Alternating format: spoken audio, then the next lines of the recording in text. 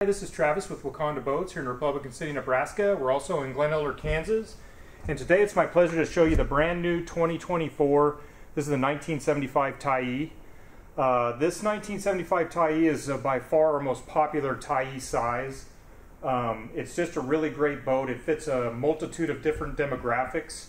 Uh, this is going to be a boat that really appeals to folks that really uh, value the high sides or you know the deeper freeboard. This is one of the the deeper boats in their lineup.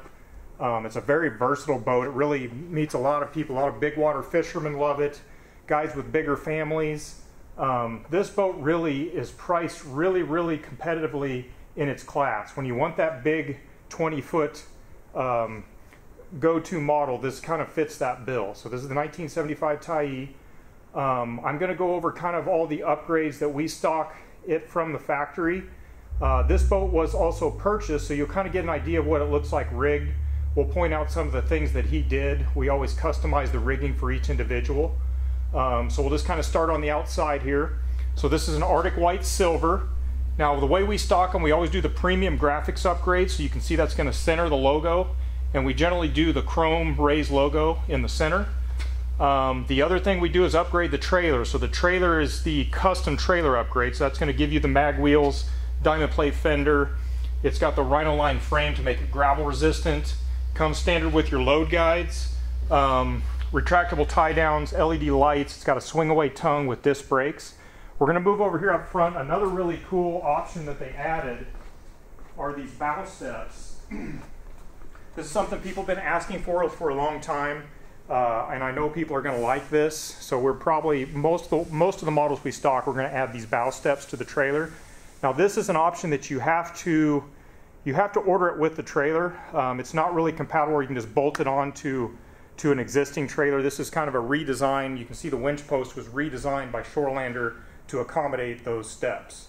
So you can bolt the steps off with this winch post, but it does take a specific winch post to make this bow step work.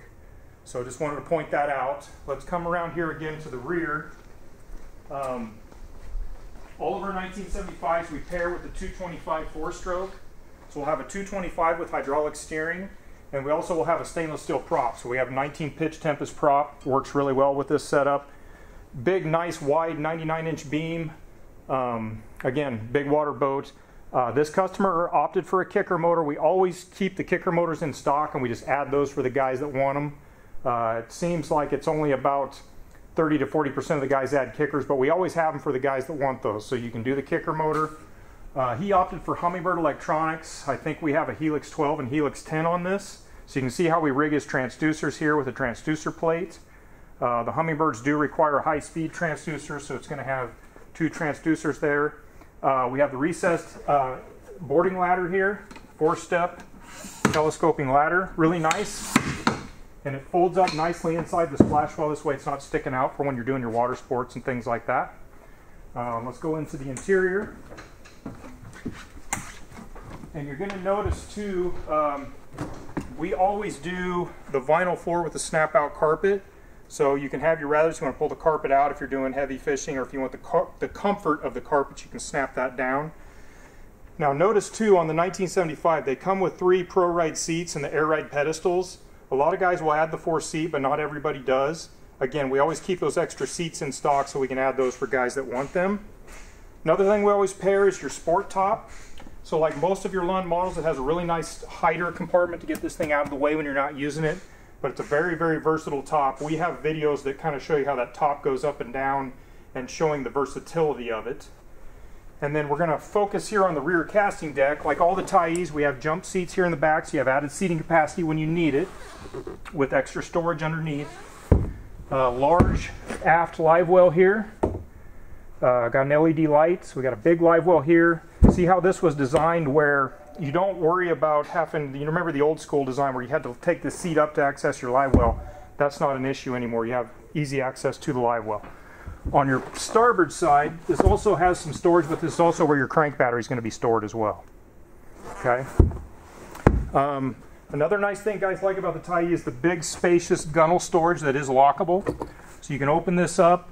Uh, you can stack rods in here if you want. People use this for any, you know, a multitude of different uh, purposes, but it's a big storage compartment that's lockable. Um, so we got that. You can see we got his rod holders rigged there. Same thing on the starboard side. This isn't quite as long of a um, storage compartment, but you can see it's pretty spacious there. Uh, we're going to move here to, oh, I'm sorry, rod storage. So this is your in-floor rod storage here. So you can get 10 rods across here. There's an LED light there when you flip on your courtesy lights that lights up the whole boat, including your uh, rod storage. You can see travel cover. We always stock the travel cover with these. And then moving to the console, uh, again, I mentioned we have uh, hydraulic steering with tilt. And then, uh, you know, we got a really nice, well-designed console we can get, you can see, you can get whatever size graph you want on this. This is a 12 inch. We're always going to mount this on some sort of like, we can see we use a ram mount. Some guys will be specific if they want to use a Balzout or a Cisco, we can get those as well. Ram mounts seem to be the most popular, the most common. Um, again, we have a master power switch that controls all of your electronics. Uh, kicker stereo that's AM, FM, Bluetooth. And then we're going to move over here to the port side. As everybody is uh, aware of the big spacious glove box that Lund is known for. So we've got a spacious glove box here, grab handles, cup holders, all that stuff. Now as we move up to the bow, you can see we have a step that goes into the bow because again, this being a deep boat, you want to have a step to get yourself into the bow and rather than waste that space, you can see we have some storage here where you can use that for whatever you want. A lot of guys will put those uh, Plano tackle trays in here. Another thing that's really nice, they're doing these stainless steel grab handles now. So rather than mess with the plastic handles, we have stainless steel, so they're virtually indestructible. Now we also do the bow cooler option. So this cooler will slide in and out. If you want to pull this cooler out, you can open this up. So if people want to get their feet uh, uh, fastened down when you're up here, you can because you can get bow cushions for this. Now he didn't, but you can get your ski package where if you want to get bow cushions in your ski pylon, you can add that. Um, here in the center, this is our trolling motor battery storage. Uh, we've got his onboard charger mounted in here. Let's move over here. We got a big storage compartment here on the port side. So we have his charger. Um, he did a 30, this is a 36 volt Terrova iLink. And so we paired this with a four bank charger so that fourth bank is going back to his crank battery. Okay, so we have all this linked to his, uh, his Humminbirds. And then on the Tyees, you're going to get a bow live well as well. So this is your bow live well. You can use this as a live well or a bait well, or some guys that don't use their bow live well, you can seal this up, throw ice in there and make it a cooler if you want. We have a lot of guys do that. Okay, so I hope this kind of gives you an idea of, of how versatile and why this boat is so popular. Uh, we always have a lot of these in stock. We've got all various colors ordered and coming. Um, you can go on our website, which is wacondaboats.com to see pictures. Our email and phone number and everything is on the website. This is Travis with Waconda Boats. Thank you very much.